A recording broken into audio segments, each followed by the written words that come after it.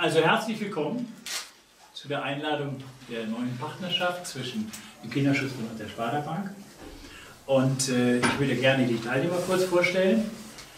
Das ist Frau Speermann, Filialleiterin Leverkusen von der Sparda-Bank. Danke. Dann unseren Vorstandsvorsitzenden neu gewählt, Herrn Helmut Ring. Dann unseren neuen Schatzmeister und Vorstand Horst Richards. Meine Wenigkeit Peter Boddenberg, bin Geschäftsführer von der, von der GmbH. Und ähm, ja, unser Anliegen war es, wir setzen mit großem Erfolg das Spielmobil seit jetzt drei Jahren ein. Ähm, bei vielen Anlässen, sei es jetzt Volksfesten, Leverkusener Kindertag oder aber auch für Flüchtlingseinrichtungen oder Haus Nazareth, wo wir bestimmte Einrichtungen vornehmen. Und äh, dieses Engagement äh, kostet uns sehr viel Kraft natürlich, aber auch viel Geld. Und da wir eben keine Zuwendung von der Stadt bekommen, müssen wir über Spenden und Zuwendungen unsere Etats sozusagen beschaffen. Und deshalb sind wir riesenfroh, dass wir unser Engagement im Spielmobil, also auch gerade für Kinder äh, in sehr jungen Jahren, das fortsetzen können und dass die Sparda Bank sich bereit erklärt, uns zu unterstützen. Ich werde sicherlich gleich nochmal dazu was sagen. Ja, klar. Und ähm, das ist uns eine große Freude. So, und ähm, damit ist sich eigentlich sichergestellt, damit wir den Einsatz des Spielmobils, wir haben so im circa im Jahr, der Ring äh, koordiniert die 12 bis 15 Einsätze, dass wir die auch weiter, weiter betreiben können.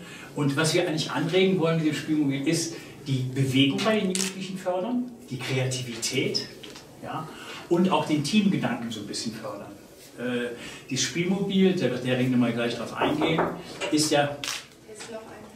Ah, hallo. Dass wir mit diesem Spielmobil die Bewegung der Kinder fördern wollen, gerade in der Zeit, wo die sozialen Medien so äh, rasch zunehmen und die Kinder sich wenig bewegen. Ja, das ist uns sehr, sehr wichtig. Und äh, von daher würde ich jetzt gerne dem Herrn Ring das Wort geben, dass er mal kurz über das Spielmobil, die Inhalte, was wir damit machen, kurz erläutern.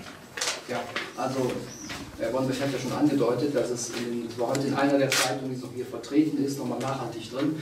Äh, alle Kinder bewegen sich zu wenig, die Mehrheit der Kinder äh, absolut viel zu wenig. Ähm, wir haben im schulischen Bereich die Sportstunden, die leider auch ausfallen, weil keine Lehrer da sind.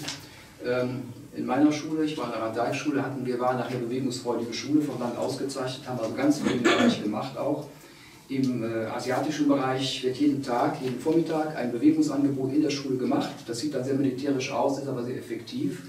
Es gibt Untersuchungen, die das bestätigen. Und diese Bewegungsbaustelle, die wir hier haben, ist genau das, was wir wollen, dass Kinder angeregt werden, selbstständig was zu machen, einen Parcours aufzubauen. Die kriegen also kurz die Materialien vorgestellt, dann, dann fangen die an.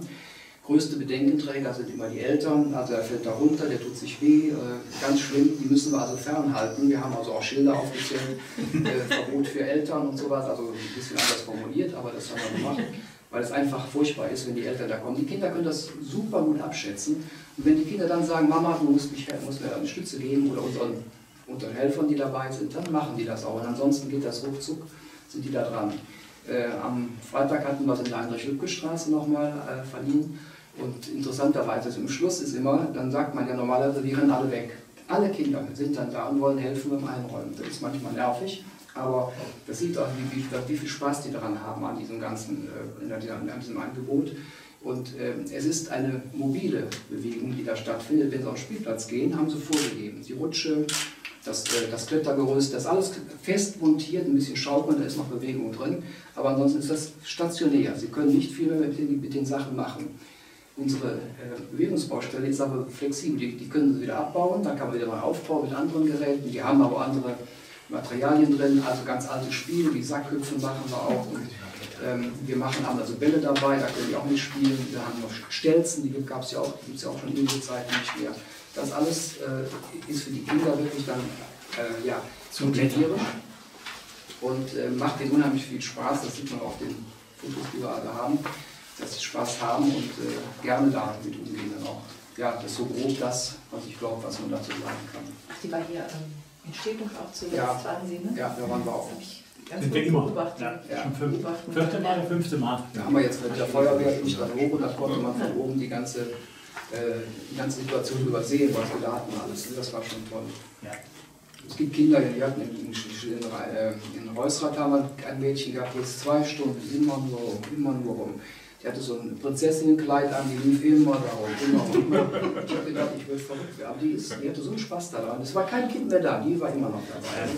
Also es ist erstaunlich, wie das geht dann. Den schwäbischen Jungen beobachtet, der also wirklich da permanent umgebaut hat. Ne? Ja. Und dann Ja. mit einem Balken nach hier Ja, und nach genau. da. Der war also wirklich da. Das ist etwas, was wir auch wollen, die. Kreativität. Und nicht ein Parcours vorgefertigt einfach ablaufen, sondern die sollen kreativ damit umgehen. Das ist eigentlich das Ziel eigentlich, ne, dieser Bewegungsbaustelle. Es gibt Überlegungen zum Beispiel auf Straßen, das, die Straße zu sperren und dann auf den Straßen auch mal sowas zu machen. Das gibt es in den anderen Bundesländern schon. Man muss natürlich Leverkusen erstmal finden, dass also wirklich die Straße gesperrt ist für diesen Anlass. Das sind wir dran überlegen, wo wir was machen können. Aber wir haben im Moment genug Gelegenheiten in den Schulen, Kindergärten und anderen Einrichtungen, das Angebot äh, also weiterzubilden. Man muss dazu sagen, es ist ja nicht nur den Anhänger dahin fahren und die Sachen auszuladen, sondern wir haben meist ein oder zwei pädagogische Kräfte, die die Kinder sozusagen betreuen, auch animieren. Die sollen also aufpassen, dass nichts passiert, das ist klar, aber auch die Kinder animieren, mal was Neues wieder zu machen, Dinge abzubauen. Und äh, dann gehört zu diesem Engagement auch eine Versicherung, die wir haben müssen, wenn was passiert. Ne? Toi, toi, bisher ist äh, nichts passiert. Ähm, der Anhänger muss natürlich immer hin und her transportiert werden, der muss in der Garage stehen. Das sind also auch Kosten, die anfallen und äh, die könnten wir nicht immer aufbringen. Ja, und deshalb sind wir eben froh, dass die Frau Speermann und das ist schon die Überleitung, die Brücke, äh, warum sie das Engagement gemacht haben. Ne? Ja, dann auch nochmal herzlich willkommen von mir. Äh, uns war eigentlich wichtig, wir unterstützen ja immer den Kinderschutzbund sowieso immer schon. Äh, über den Herrn Ring haben wir den Kontakt häufig schon gehabt. Aber trotzdem wird natürlich immer überlegt, was kann man Neues machen. Und eigentlich das, was hier gerade schon so angeklungen ist, das war uns und mir eigentlich wichtig. Diese Gemeinschaftsbildung auch irgendwo, dass Kinder mal wieder zusammen spielen, die sich vielleicht auch erstmal gar nicht kennen, sondern dann vielleicht auch neue Kontakte knüpfen können. Vielfach habe ich das so festgestellt, ist das eigentlich gar nicht mehr so. Die spielen eher häufig alleine oder gar nicht mehr. Oder was sie sagt, wenig Bewegung dabei. Und das ist einfach eine Möglichkeit, ähm, dass man sieht, dass sowas angenommen wird. Dass, wenn das da steht, dann nehmen die Kinder das an, von sich aus schon, und dann kommt dieser Spieltrieb automatisch wieder hervor und damit auch die Bewegungsfreude, die die Kinder eigentlich äh, immer ausstrahlen. Und das fand ich wichtig und deswegen war das auch klar, als der Sonnenberg und der Ring zu uns kam, das machen wir. Und das haben wir ja jetzt auch festgemacht und äh, ja, bei dem nächsten Termin irgendwo, dann gucke ich mir das nämlich mal selber auch an. Also das uns wirklich sehr, sehr wichtig. Und das ist ein schönes, super Projekt. Ja, schön. Ja, jetzt haben Sie so die Inhalte gehört. Gibt es Fragen von Ihrer Seite dazu? Seit wie vielen Jahren gibt es das Ding? Ich habe gehört, seit vier, fünf Jahren sind Sie unterwegs. Da gab es das vorher auch schon? Wir Oder? haben das vor vier Jahren uns angeschafft. Also vorher, bevor diese Zeit hatten wir uns das ausgeliehen beim Sportbund in Köln. Gab es sowas zum Leihen. Äh, Das war aber näher so etwas problematisch, weil es dann versifft war, will ich jetzt mal so sagen darf. Es war einfach in schlechtem Zustand, wir mussten jetzt mal alles abwaschen. Und dann haben wir ähm, uns entschieden, so uns etwas selber anzuschaffen. Äh, Ein Anhänger und dann haben wir in der Schreinerei dann die Möbel bauen lassen. Und äh, das war nicht eine richtige Entscheidung, weil die strahlenden Kinderaugen, die sind immer schönste Dankeschön dafür. Und äh, wir haben das seit vier Jahren jetzt im Einsatz und haben eben die bisherigen Einsätze teilweise über Teilprojekte finanziert. Wir haben zum Beispiel im letzten Jahr in Flüchtlingseinrichtungen äh, in Vieren sind wir die Spielmobile gewesen, das hat die Sparkasse zum Beispiel übernommen. Ähm, haben wir ein anderes Beispiel? Äh, bei einer anderen hat die Lions Club das übernommen, weil wir das selber eben so über, über diese Zeit nicht tragen können. Also immer projektbezogene, so, wo wir jetzt froh sind, dass wir jetzt eine stabile finanzielle Basis für zwei Jahre haben. Und das erleichtert uns natürlich auch die Aktion mit dem Spielmobil.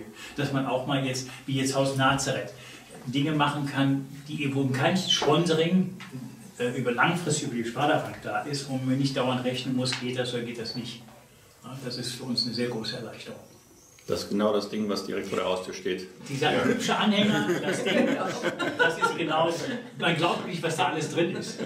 Also wir haben ja hier die, die Geräte gesehen, das ist auf minimal alles reingepackt. Ja, das fällt das von oben bis unten zu, das ist unwahrscheinlich viel Produkt. Ja. Wie alt dürfen die Kinder sein? Ich habe gehört, Kindergarten und Schule. Von bis. Nein, also man kann sagen, von drei bis zwölf Jahre ist so das ideale Alter. Die können auch damit anfangen. Also ein 15-jähriger Junge, der fühlt sich überfordert. Ja, es war zu cool. Ich sag doch, ja. Ja. Zwei Stunden Ja. mit Parkschein.